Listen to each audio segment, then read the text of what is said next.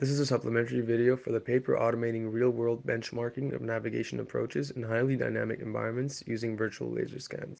In this paper, we propose a method to simplify and automate the benchmarking process of navigation approaches in crowded environments on real robots, without the need for actual human participants. Therefore, we implemented a laser manipulation node, which manipulates the real laser scan of the robot in a way to make mimic human pedestrians.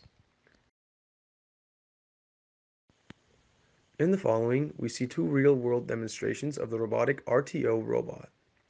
The obstacles in this scenario were generated using the PedSim package and are visualized in green.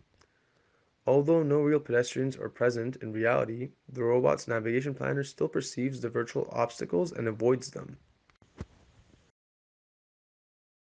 To evaluate our approach, we conducted tests on three different maps with two baseline methods. The code is publicly available on GitHub.